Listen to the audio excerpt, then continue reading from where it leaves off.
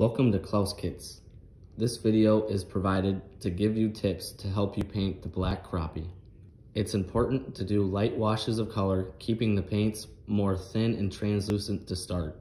Colors used for the fish were white, blackish gray, and bluish green. The fins were also painted with a very thin wash of golden yellow.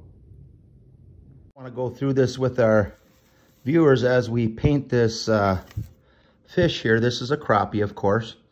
And um, I just want to um, highlight that these undercolors that are going on the markings and the detailing of the crappie are basically a very, very thin wash that goes over the fish and uh, a little bit of scale tipping and scale defining um, on the body and then also these fins here are very, very lightly colored so that they remain uh, translucent. For instance, here you can see my finger through the backside of that fin and so forth. So it's very important to not do a very heavy paint job or very opaque as it will not uh, lend itself to being very realistic.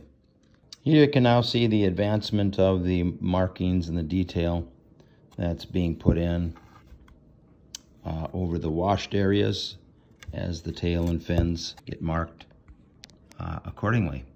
Here I have uh, prepared the background for uh, a water scene behind this crappie. Uh, it took two coats to get it uh, nice and pretty much uniform. So shortly we will be putting in some rocks and branches, things like that to complete this, this painting.